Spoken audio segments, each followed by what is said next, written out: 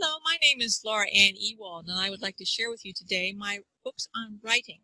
I have The Power of Story, using good storytelling to leave a lasting impression. I have The Power of Story 2, which is using research to add reality to your story. And I have The Power of Story 3, Making Your Own. In these three books, I take you from what it means to be, to write a story and what, how storytelling has affected us throughout history to how to do research so you get it right. And this is really good for both fiction and nonfiction writers because as a former librarian, I do the research thing a lot. And then this one has to do with critical thinking, strategic thinking about your topic to get it into a size, whether it's a short story or a novel or a magazine article or even a book. Um, even a thesis uh, school academic paper would be good for this.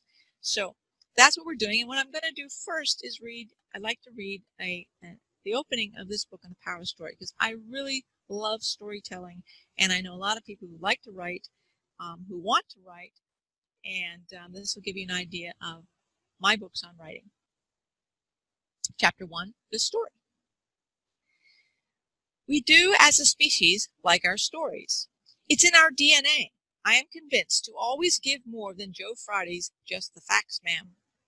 We not only want to hear and tell what happened, we also want to know the complete who, what, when, where, why, and how that goes along with the what. If you need proof, just look at the evening news.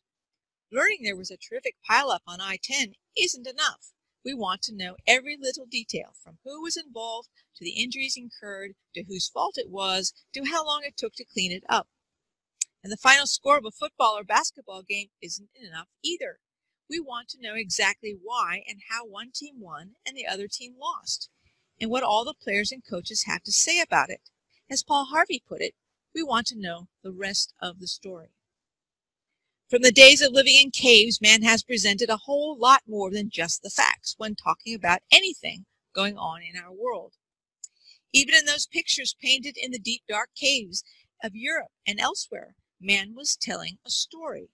For the artists did not only illustrate the hunt, they created a pictorial narration of what went on. It's fascinating, really. The storyteller has been revered long, since long before we could read and write for just this reason. It was the storyteller, the bard, who kept traditions going from one generation to the next. Their stories not only entertained, they educated. They gave us, as a people, a center and an identity. It was the storytellers traveling from town square to village screen, from stage to campfire, who told the stories that kept us connected to one another, to our past, and to our future. And if you think the importance of a story has been lost over the centuries, then you haven't attended a John Grisham book signing or even waited in line an opening for a new Star Wars movie. We really do love our stories. So what is a story? There are probably nearly as many definitions of the word story as there are readers and writers, but let's look at the basic definitions of the by the masters.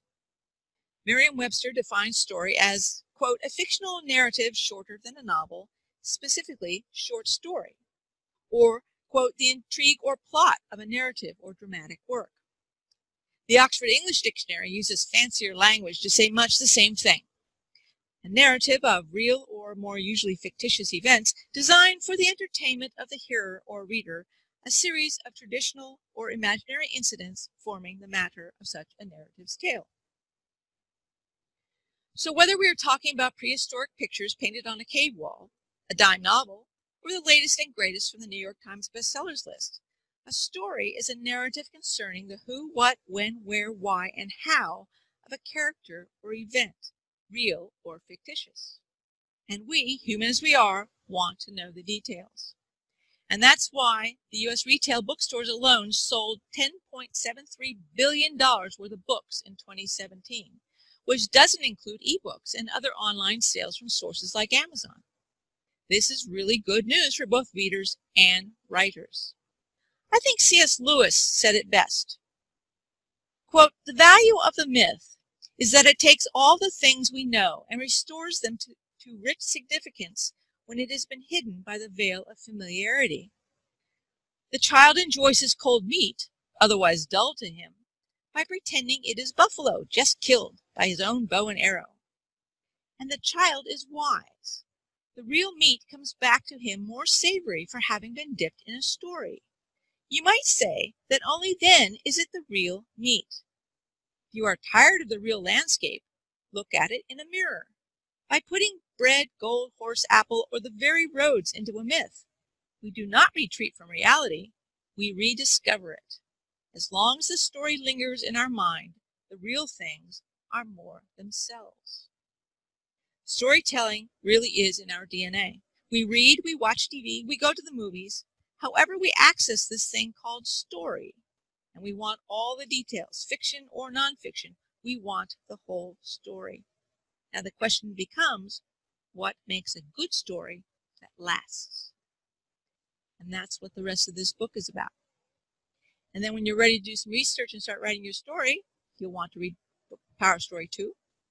And when you want to think critically about that topic you have in your head, how can you put it into a story or a paper or a short story or a newspaper article? Then you can look at Power Story 3, Making It Yours. Thank you.